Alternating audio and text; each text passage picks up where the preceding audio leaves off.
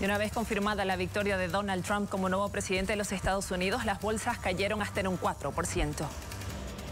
Los mercados se desploman tras la victoria de Donald Trump en Estados Unidos.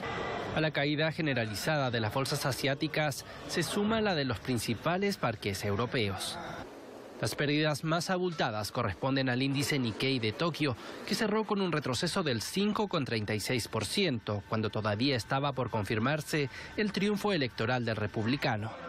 Mientras que Seúl cerró con un retroceso del 2,25% y Shanghái lo hizo con una caída del 0,62%.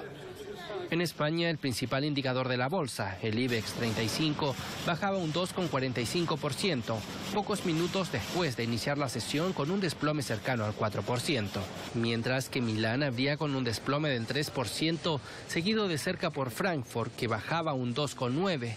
París cedía un 2,86% y Londres lo hacía un 2,12%.